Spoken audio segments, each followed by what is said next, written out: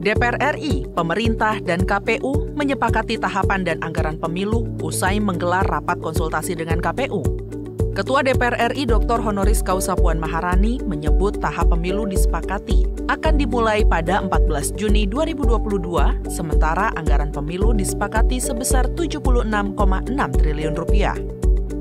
Ketua DPR RI Dr. Honoris Causa Puan Maharani memaparkan pendaftaran partai politik peserta pemilu akan dilaksanakan pada bulan Agustus mendatang dan verifikasi partai politik calon peserta pemilu akan dilaksanakan pada Desember 2022. Tahapan pemilu akan dimulai insya Allah sesuai dengan jadwal yang ada yaitu tanggal 14 Juni tahun 2022 dan jadwal waktu pendaftaran partai politik peserta pemilu akan ditetapkan pada bulan Agustus tahun 2022 dan verifikasi uh, partai politik calon peserta pemilu uh, akan dilaksanakan atau uh, ditetapkan pada bulan Desember tahun 2022.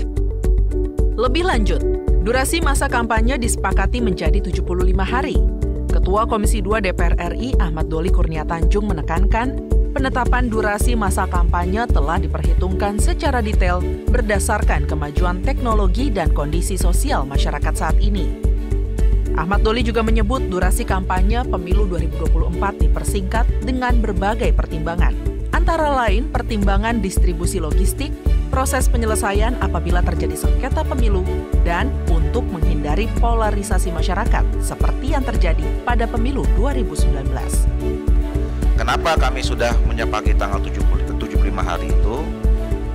Pertama, lamanya masa kampanye itu sebetulnya dari awal sudah kami sepakati semua antara pemerintah, Komisi 2 dengan KPU dan Bawaslu DKPP bahwa masa kampanye di era-era sekarang ini ini sudah mulai harus dirubah metodologinya ya. Karena penggunaan sistem uh, ilmu pengetahuan dan teknologi informasi dan seterusnya maka dan kita punya pengalaman 2019 ya yang memungkinkan untuk terjadinya polarisasi terlalu dalam itu kalau memang ada pertemuan-pertemuan yang panjang dalam masa kampanye atau apalagi pertemuan fisik. Sementara itu, dalam rapat kerja dengan KPU dan Bawaslu, anggota Komisi 2 DPR RI Muhammad Toha meminta KPU untuk lebih gencar menyosialisasikan jadwal dan tahapan penyelenggaraan pemilu kepada masyarakat. Ini merupakan tugas besar KPU dalam menyukseskan penyelenggaraan pemilu.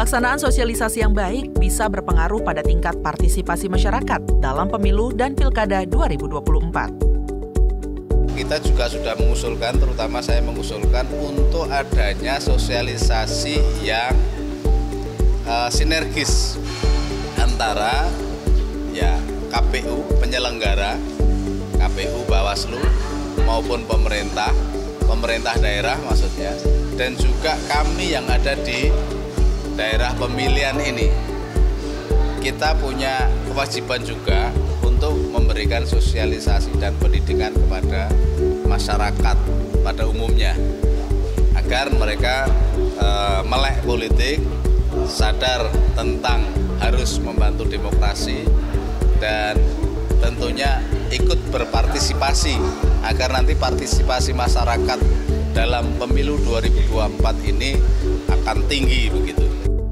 Anggota Komisi 2 DPR RI lainnya, Gus Pardi Gaus, mengapresiasi alur tahapan dan jadwal penyelenggaraan pemilihan umum tahun 2024 yang disampaikan oleh KPU.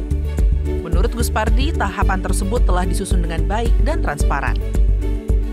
Satu rancangan tentang durasi kampanye. Yang penting pelaksanaan pemilu itu terutama durasi kampanye bisa ditetapkan selama 75 hari. Bagaimana menyikapi itu?